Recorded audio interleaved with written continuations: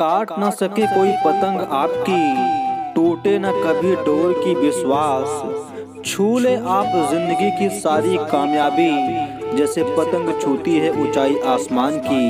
कि जैसे पतंग छूती है ऊंचाई आसमान की मकर संक्रांति की आपको और आपके पूरे परिवार को ढेर सारी शुभकामनाएं